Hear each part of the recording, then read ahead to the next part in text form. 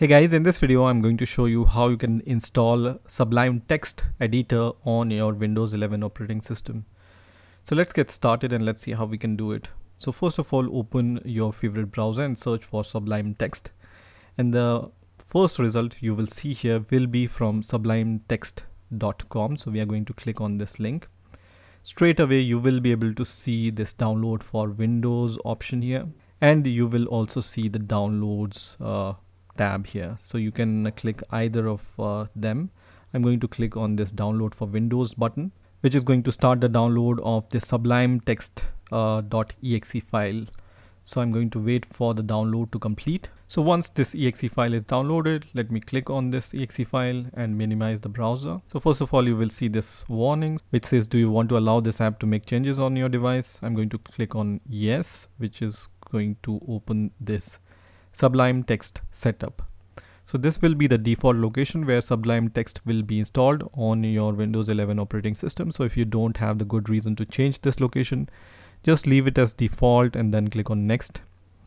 Here you will be able to see select additional tasks. I'm going to just check this checkbox and then click on next and then click on install which is going to start the installation of Sublime Text.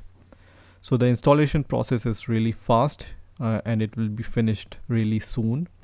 And once that will be done you can click on finish here and then uh, you can go to the windows start menu. You can directly see uh, that uh, sublime text uh, icon is visible here in recently added tools.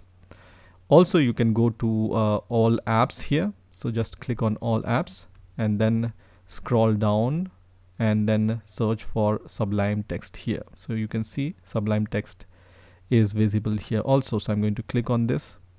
And now sublime text is started on my windows 11 operating system.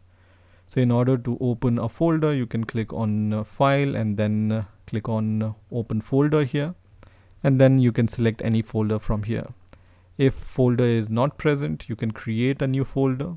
Let me just create my apps folder and then press enter and then select this folder and then click on select folder which is going to open this folder here right?